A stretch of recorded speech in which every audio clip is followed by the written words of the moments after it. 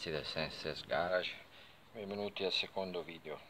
E il video è cominciamo con i video pratici. Ovviamente prima di partire col fresino ci dobbiamo studiare dietro un attimo le cose. Quindi prima cosa da fare è prendere giù l'esatta posizione delle luci di scarico delle luci di missione e anche di scarico. E come si fa? si taglia un pezzo di carta a misura si infila dentro nel cilindro raso si, fissa, si fissa con lo scotch e poi con il dito sporco sporco di con la matita come si faceva una volta a scuola si preme sugli angoli delle luci. E vedrete, e vedrete che mano a mano rimane impresso il segno sulla carta come carta come fosse una carta carbone dell'esatta dimensione della larghezza, dell'altezza dove si trovano. Se questo foglio di carta esattamente è raso a livello della testa, avremo anche l'altezza, l'altezza della luce e, tutto quanto. Questo lo facciamo sia sopra che sotto per avere la dimensione della lunghezza del cilindro dove abbiamo accorciato. Ok? Fatto ciò si estrae io l'ho già fatto precedentemente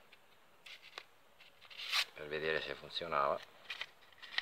Si apre il nostro rotolino e magicamente adesso lo vediamo un po' sfocato perché magicamente avremo l'esatta posizione delle luci di scarico. Che verranno ripassate a mano a mano sì, con la matita. E avremo la posizione reale. E poi con un righello con l'ispirazione che vedremo prenderemo ispirazione da altri modelli di luci da competizione andremo ad allargare queste luci allungarle tenendo presente che in alcuni passaggi come qui forse sembra che sia qua e qua c'è il traversino c'è il fermo del pistone. Ok per adesso questo è quanto si va a vedere dopo aver messo, aver messo in asse cioè con una riga con una squadra come si faceva a scuola in educazione tecnica qui si vedono chiaramente eh, dove sono le proporzioni delle altezze delle luci. Questo cilindro era stato fatto a mano a occhio ed era già stato allargato come detto. Vediamo le disallineamenti e cose varie che sono stati fatti da questo punto in poi si può decidere, questi, decidere come allungare, intervenire, allargare, alzare le luci. Questi sono i punti dove passano i fermi delle, delle fasce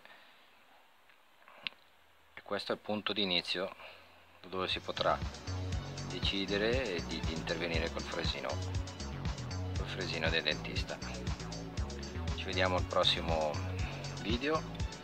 E iscrivetevi al canale, mettete un like e seguiteci. Mi raccomando, sosteneteci, ciao a presto, dal vostro Senses Garage.